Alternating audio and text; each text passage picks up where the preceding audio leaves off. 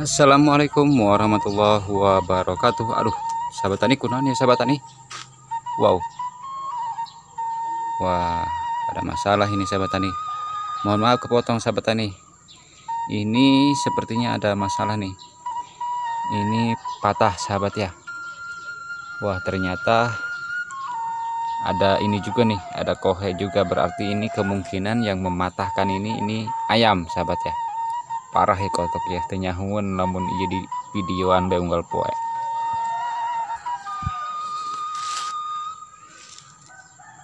Ya sahabat memang seperti itu ya tanaman ya namanya juga tanaman kadang-kadang ada aja gangguannya sahabat ya.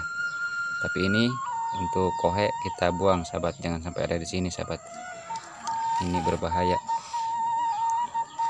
Nanti proses pelapukannya berbahaya ke tanaman sahabat ya. Banyak kohenya kita buang ya sahabat seperti inilah tanaman ya. Dan kita akan update seperti apa tanaman kita yang tanaman tomat modal kunyit sahabat ya. Ataukah selamat atau seperti ini kita saksikan sahabat. Kita lanjut sahabat ya. Kita ucapkan salam kembali sahabat. Assalamualaikum warahmatullahi wabarakatuh sahabat tani selamat pagi salam ngopi sahabat tani pagi ini kita ngopi dulu sahabat tani kita coba masih hangat ya kopinya sahabat ya. Mantap sahabat tadi. Sekali lagi ya. Ya sahabat tani kopinya kita simpan di sini dulu.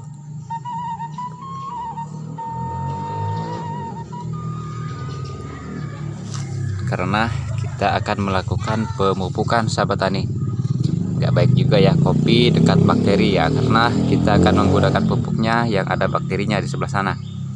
Itu pakai kunyit pupuknya sahabat ya. Nah sebelum kita melakukan pemupukan seperti inilah perkembangan terbarunya dari tomat modal kunyit sahabat. Ini pasti kaget teman-teman ya. Ini baru tiga hari ya tiga hari terakhir kita melakukan pemupukan sahabat ya tapi seperti ini sahabat. Sudah jauh sekali perbedaannya sahabat. Ini ada penggaris murah seribuan sahabat ya. Kita akan fungsikan untuk mencoba mengukur nih ketinggiannya udah berapa sahabat ya. Waktu penanaman itu ya tanggal 16 Mei itu di sini ya. Di ikatan ini di tali ini. Kita akan lihat perbedaannya sampai saat ini. Ya sahabat kita akan coba lihat perkembangannya. Sejak tanggal 16 Mei karena kita menanamnya tanggal 16 Mei sahabat waktu itu ketinggiannya di sini sahabat ya. Di kabel ini ketinggiannya kita cek udah berapa senti kenaikannya. Iya di angka 9 sahabat sudah 9 cm sahabat ya. 9 cm itu 10 hari dari penanaman ya. Karena kita menanamnya tanggal 16 sudah mencapai 9 cm ketinggiannya ya. Dan daunnya juga sudah besar sahabat ya dan diameternya sudah lumayan naik sahabat ya. Sudah mau sebesar kelingking sahabat. Dan sudah tumbuh tunas air sahabat. Bikin merinding ya. Ini baru 10 hari setelah tanam sudah muncul tunas air sahabat. Ini artinya pertumbuhannya memang benar-benar pesat sahabat. Ada dua kemungkinan ini sahabat. Yang pertama memang media tanamnya bagus yang kedua waktu itu kita menggunakan mulsa sahabat ya. Menggunakan mulsa dari akar nanas kemudian akar paku-pakuan dan akar putri malu sahabat ya. Nah itu kemungkinan-kemungkinan pendukung dari tanaman ini cepat subur sahabat ya. Selain dari kedahsyatan dari kunyit itu sahabat ya. Nah sekarang admin bongkar alasan kenapa sih admin menggunakan uh, akar nanas ini sebagai mursa karena sahabat ya. Itu pada akarnya itu itu ada lapisan berwarna putih seperti kapas yang artinya itu adalah mikorija sahabat ya sebagai pelindung tanaman kita dari serangan jamur sahabat ya. Dan juga tentu di akar nanas itu ada trichodermanya sahabat ya karena admin tuh kalau mau isolasi di akar nanas itu kadang-kadang banyak trikonya sahabat ya. Pada tanah yang ada di sekitar perakaran akar nanas sahabat ya. Oke sahabat seperti ini perkembangan terbarunya. Sudah bagus ya. Ketinggiannya sudah nambah panjang daunnya sudah nambah lebar daunnya juga sudah nambah ya kalau nggak percaya silahkan teman-teman cek aja di video sebelumnya sahabat ya. Apalagi waktu tanggal 16 itu ini masih kecil ini ini kecil ini kecil ini kecil sahabat ya. Nah ini yang ini juga sudah seperti ini sahabat ya. Oke sahabat kita langsung isi ini drip irigasi ini dengan pupuk organik yang ada di sana sahabat ya. Itu terbuat dari kunyit sahabat ya. Dan juga tanah dan akar yang ada di sekitar perakaran kunyit ya. Dan juga kentos kelapa dan gula merah sahabat ya.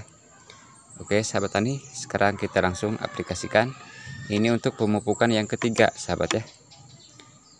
Pada usia 10 hari setelah tanam saat ini sahabat ya. Dan untuk keampuhan kunyit sendiri bisa teman-teman lihat ya seperti ini. Keampuhan kunyit pada tanaman tomat ini sahabat ya. Ini 10 hari setelah tanam kemudian 16 hari setelah pupuk dasar ya. Jadi ini tanaman ini sudah mendapatkan nutrisi kunyit 16 hari setelah pupuk dasar dan terakhir tiga hari setelah pemupukan sahabat ya.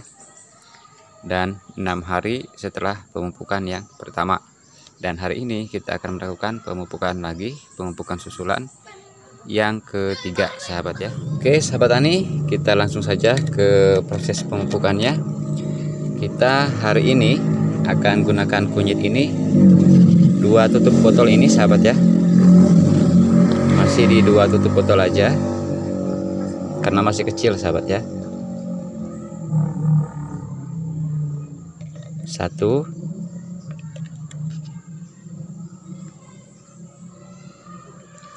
dua ya dua tutup ini sahabat.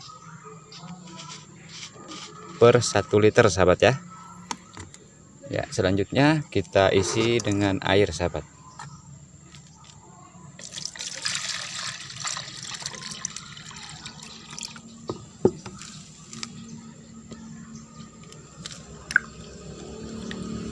Oke sahabat kita langsung kocorkan pada drip irigasi ini sahabat ya. Supaya nutrisinya perlahan mengalirnya ke tanaman tomat sahabat ya. Lewat irigasi tetes aja. Oke sahabat karena ini belum penuh kita tambah air lagi sahabat ya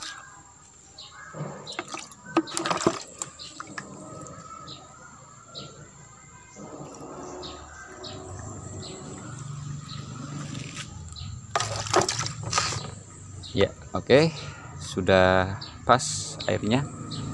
Oke sahabat tani seperti ini perkembangan terbarunya. Pemupukannya sudah kita lakukan menggunakan dua tutup botol sprit. Kemudian untuk perkembangannya seperti ini ya bisa teman-teman saksikan sendiri perkembangan dari tanaman tomat modal kunyit sahabat ya. Oke terima kasih sudah menyaksikan. Admin mau lanjutkan ngopi lagi sahabat ya karena itu baru aja diseduh Terima kasih sudah menyaksikan. Semoga video ini bermanfaat. Tanam tomat modal kunyit seperti ini hasilnya. Wassalamualaikum warahmatullahi wabarakatuh. Salam hijau.